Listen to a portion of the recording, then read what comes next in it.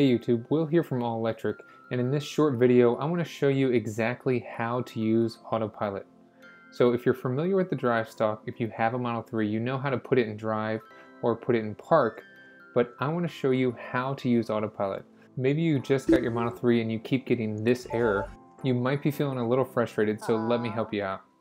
If no matter what road you're on, you can't see that gray steering wheel, you need to go into the autopilot settings and you're gonna get this error that you see here. So to get into the settings, you hit the car icon in the bottom left side of the screen, then autopilot, and then you'll see this menu pop up. You need to enable auto steer and you have to hit yes to this little disclaimer here. Now under this menu, if you have it, you can also enable navigate on autopilot and we are not going to get into Navigate on Autopilot today as this video is designed for beginners. It's important to note that you can only turn autopilot on while you're in park.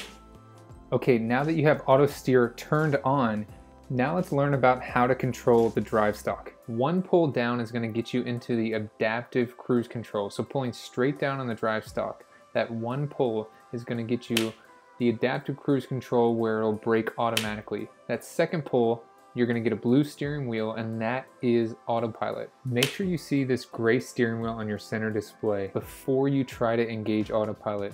Okay, so how do you turn off autopilot once it's on? So you have the blue lines, you have the blue steering wheel, but how do you turn it off? There's three different ways to turn off autopilot. First, by pushing up on the drive stalk. The second is just by taking control over the steering and the last option is simply pressing down on the brake and that will turn off the system completely. Once you have autopilot engaged, there's a couple different ways to adjust the speed.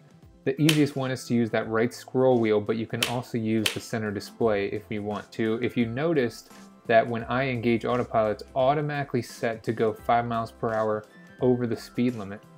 This can be adjusted at any time under settings, autopilot, and speed limit. And I have it set to the relative speed, plus 5 as you can see there. Roads with traffic lights limits autopilot speed to 5 miles per hour over the posted speed limit. So even if I change my relative speed to plus 10 and then use the max speed shortcut by hitting the speed limit sign on your center display, it'll only go to 5 miles per hour over because it's limited. But just to show you how relative speed works, we're going to set it to plus 2, then scroll down to 35, and hit 45 again and it's going to go up to 47. Something else to keep in mind, autopilot's not going to engage in a parking lot or something like that. So if you're having trouble engaging autopilot, make sure you're on a road similar to this one where autopilot is allowed. Now, I realize that most of this information is very elementary to those Tesla veterans out there, but this is not for you. This is for that new Tesla owner out there who just got their car and is feeling really frustrated because they're not able to engage something as simple that we take for granted as autopilot. I hope that this video was helpful for you. If it was, please give it a thumbs up. If you haven't done so yet, consider subscribing. If you know somebody else who's also struggling with autopilot, share this video with them. Thank you guys again for watching, and I will see you in the next one. Thank you so much to all of you that are over there on Patreon supporting this channel. Our Mana Min and Akrama Tool Thank you so much for supporting this channel at the all electric level. When you see another Tesla on the road and you're engaged in autopilot, the proper way to wave to them is with two hands waving frantically when you see the other Tesla. Thanks so much for sticking around to see something extra at the end of the video. I will catch you guys in the next one.